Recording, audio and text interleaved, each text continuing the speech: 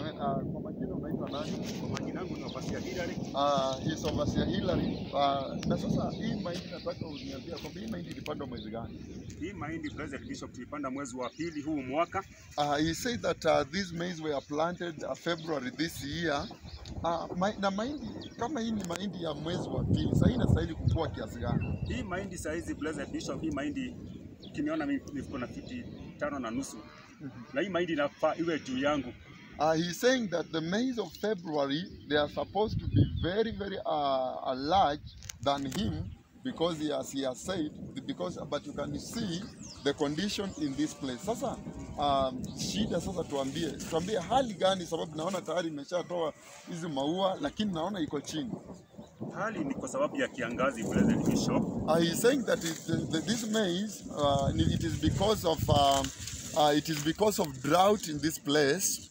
Kulingana na umri wa hii miaka huu hizi mimea kwa chamba, Uh, When you see uh, these uh, the, the, these crops, hii mahindi sasa tunafaa tuwe tunaanza kukula. uh, these maize uh, they were uh, supposed to be being eaten by right now, na zingine tunagongoa tuna, tuna, tunagongoa, tunakausha za unga. and even some to be prepared for for for for, for flour. Sasa tunanunua unga kwa, kwa, kwa mashini Uh, right now we are buying flour kwa sababu ha- hizi mahindi tunapoziangalia hazina tumaini. because uh, these maize, as you can see, uh, we don't have hope. So tunamshukuru Mungu sana. uh, he says that we thank the Lord so much. Na sasa uh, hii mahindi kwa sababu sasa unaona kwamba jinsi ambavyo iko hivi na ni kwa sababu umesema kwamba zilipandwa uh, mwezi wa Februari. Sasa saa hii unaona mahali zimefika hapa. Je, unaona kwamba hizi zinaweza kutumika? Hizi hii ni chakula ya ng'ombe kwa sasa, tutaifanya chakula ya ng'ombe. Uh, he's saying that right now, this maize, as you can see, uh, it is for it is the food uh, of uh, of uh, cattle because it, they cannot help us with this life at this time. So sasa nini ambacho utafanya sasa tena because uh, nini kingine utafanya because uh, the mightiest prophet Elijah decreed rain and they said that those that their crops were not in good condition we can now uh, replant again. Sasa uh, manabii nabii mkuu sana wa kutisha Elia alisema kwamba aliponena mvua alisema kwamba wale ambao mimea zao zimeharibika wanaweza kupanda tena.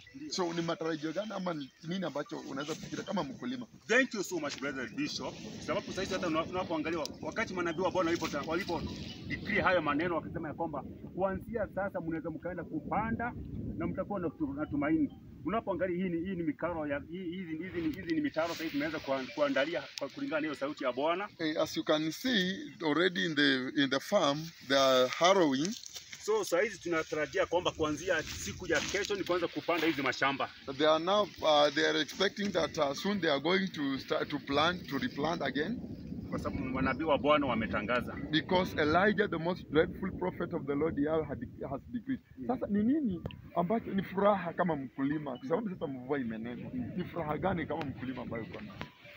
Blessed Bishop, blessed Kenyans, tuna furaha kubwa kwa sababu tunajua mwenye amenena haya maneno ya baraka. He says that we are so very joyous because uh, because of the mightiest mightiest prophet of the Lord Elijah the most dreadful prophet of Yahweh. Hata tunapiga tuna, tuna tunapiga tabasamu na kushukuru Mungu sana. Now you can see smile as we thank the Lord very much smile on Thank our Thank face. you mightiest prophet of the Lord. Sasa ni nini unazambia nabii mkuu sana Elia wa kutisha na wa kuogofya?